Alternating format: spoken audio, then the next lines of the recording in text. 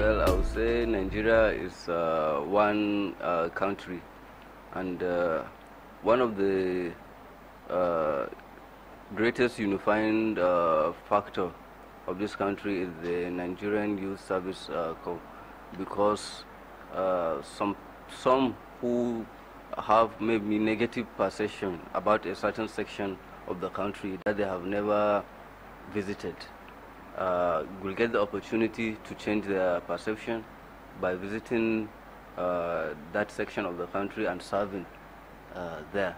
Because you find out that uh, there are a lot of rumors uh, regarding uh, different sections of this of this country. But the service allows those rumors to be dispelled by people coming in and, and, and, and serving in a part of the country that they have not normally uh, uh, visited.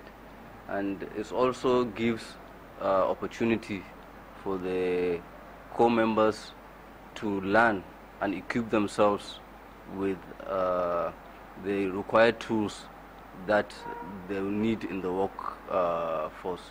Because what is lacking in the educational sector that you find out that there are a lot of educated uh, graduates, but they lack the requisite uh, work skills in the workforce. So I know that uh, we have involved all our corps members in all our activities here at the ministry, and I know they will be uh, capable to translate what they have learned here into uh, the workforce. Um, Sulaiman Jima Oladimeji from Kwara State, serving in Katsina State under the Ministry of Resource Development, Katsina State.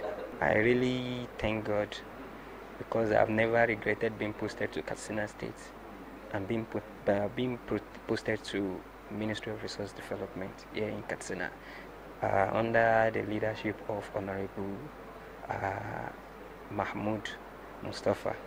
I really appreciate all their efforts, everything. I, they really take me as if I'm their child.